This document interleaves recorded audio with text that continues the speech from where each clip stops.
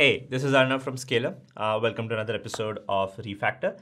And today I will discuss about uh, mobile development tech stacks like uh, native development versus Flutter versus React Native.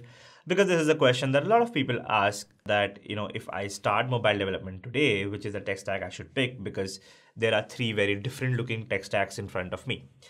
So I will uh, cover this uh, from both the angles, uh, like what do these tech stacks look like, where they are more appropriately used, and then I will also talk about what is the um, industry uh, looking like, you know, which tech stacks people are mostly hiring for, right?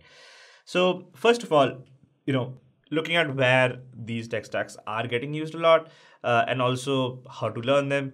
So native development, when people are talking about, generally mean that creating apps using the default SDKs that are available from Google for Android development and from Apple for iOS development, which uh, back in the day meant writing apps for Android in Java and writing apps for iOS in Objective C.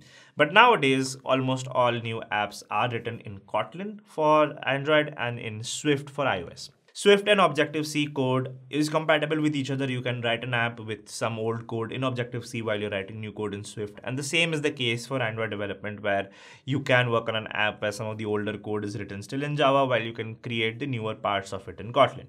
One thing to be understood here is that still today in the industry, if you want to make a name for yourself as a native developer in the Android world, not knowing Java and only knowing Kotlin is not possible because the Kotlin code that you write would still run in essentially in a way how it runs on uh, JVM, the Java runtime environment of the Java virtual machine.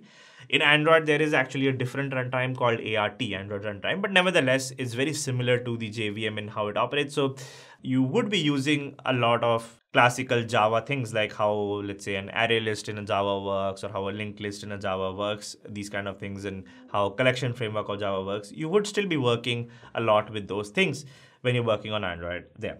Similarly, if you work on iOS, while it's it's it's almost 100% Swift world today, knowing a bit of Objective C is still useful because if you work at a company where there is a code base which is 10 years old, there's gonna be old code in Objective C which you have to still understand. So that's about this world. Now about languages that are being used in, let's say, uh, Flutter is a new, or I would rather first start with React Native. So React Native is something that Facebook designed so that they can reduce the time as well as the effort as well as the number of people required to build two different apps for iOS and Android. And they say that, okay, how about we write the logical parts um, in a common language like JavaScript? How about we use a framework like React, which front-end engineers already know, and we will translate that into actual uh, Java-like code for Android and Objective-C like code for iOS, and that's how React Native was built. Now, uh, when you work on React Native, what happens is obviously it's easier for um, front-end engineers who have worked with React to actually write code, uh, thinking of this more like web development sort of an environment. But as your app grows more and more complex, you still do have to understand how the Java Kotlin parts in Android works, how the Objective-C Swift parts work in iOS, because the UI that is being made is, is still using things like you know views and XML in Android just wrapped around with some JavaScript layer. And iOS it's still using you know things like uh, delegates and view controllers and view delegates, all of that app delegates. It's still using that. Flutter, which is sort of the uh, newest largely used framework. I mean, there are lots of frameworks to do this, but the reason we are talking about only these three are because these are the only three which have really gone mainstream. And among the mainstream, the newest one is actually um, Flutter, which was developed by Google. Again, with a similar mindset that how about we write apps once and we it can run on iOS and Android both. While the approach is a little different there, it does not try to translate your Flutter code into Java uh, and views for Android, or it does not try to convert your code into Objective-C and app delegates and view controllers in uh, iOS. It does not do that. So what it does is instead actually directly render the graphics. So basically, Flutter is very similar to how game engines are developed, like Unity and Unreal Engine, where the code that you write actually generates actual pixel based assets. Like it generates a real button. It does not use android's button but it generates its own button and renders it on the screen. So flutter is more independent of how the uh, Android SDK or how the iOS SDK works, right? But still, if you want to use things like hardware sensors and GPS and operate the camera, you still need to work through the Android SDK and the iOS SDK in that case. Just clearing out the basic technical differences between them. Now, where are these being used? So, if you find any very old app an app which has been on users' phones and on the Play Store and App Store for 10 years, 12 years. You know, if you if you pick any app like like apps from Microsoft, Google, Facebook, which have been some of the first few apps that were released, these apps would largely be like at least maybe the entire app or 80 90% of it is still developed using native technologies which is using the android sdk and java and kotlin for android using ios sdks and objective c and swift for ios these companies also have uh, fairly old and well established teams inside the companies, which, if they hire an engineer who does not know Android development well, they can actually teach them, they can up ramp them, and then uh, so it's not that difficult uh, for them. If you look at uh, some companies which have more started out five to six years back, seven years back, uh, you would start seeing a lot of companies which did start out with React Native at that stage because React started getting very popular and 2016 17 was the time when it got also stable enough for people to actually start uh, using it right? There are also stories of companies which started off with react native and uh, the reason they did was because it was easier to hire people with react knowledge and teach them the mobile parts and work on a react native app rather than hire android and ios engineers uh, separately once these companies reached to a certain scale, once these apps went beyond a certain level of complexity, they ended up uh, rewriting those apps using the native frameworks. Which the most famous story of that is of Airbnb, which was one of the most popular apps written in uh, React Native, but they wrote a series of posts on Medium articulating why they left React Native and started working on native technologies. And finally, coming to Flutter, companies which have actually started making apps in the last two to three years, especially the last uh, one year, I would say, is is where you would find a lot of startups beginning to make apps uh, in Flutter. Uh, that is not to say large companies are not. For example, Google Pay's app has been made entirely in Flutter, and it's one of the biggest apps made in Flutter, as an example.